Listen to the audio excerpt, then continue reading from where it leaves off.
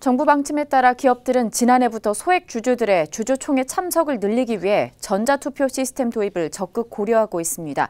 그러나 매번 수백만 원의 돈을 내고 예탁결제원의 전자투표 시스템을 이용해야 하기에 독점 논란도 불거졌습니다. 이런 상황에서 미래에셋대우가 최근 기업들에게 무료로 전자투표 시스템을 제공하겠다고 나서면서 성공 여부에 관심이 쏠리고 있습니다. 이승용 기자입니다.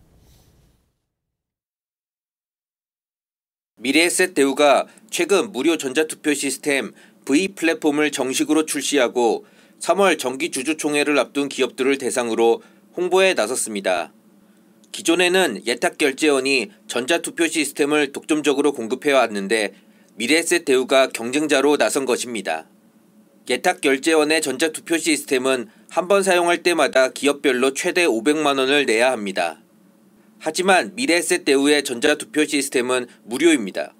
전자투표 안내 방법도 차별화됩니다. 예탁결제원은 전자투표 안내를 우편으로 하고 있지만 미래에셋 대우는 홈 트레이딩 시스템과 이메일 등을 적극 활용합니다.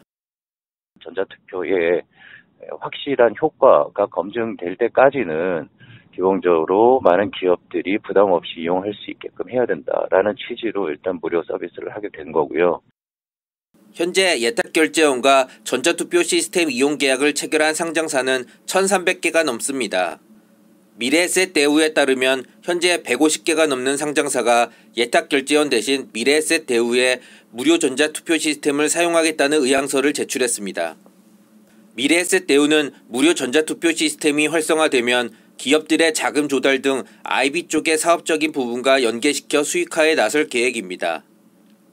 최근 국민연금의 stewardship code 도입과 KCGI 등 행동주의 펀드의 등장으로 전자투표 시스템을 도입하는 기업들은 앞으로 더욱 늘어날 것으로 보입니다.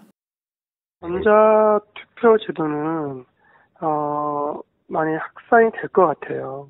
코스닥 기업들은 더더군다나 더 그 필요성이 더 많아질 것 같아요. 그 유가증권 시장 쪽 소속 기업들보다. 팍스 경제 TV 이승용입니다.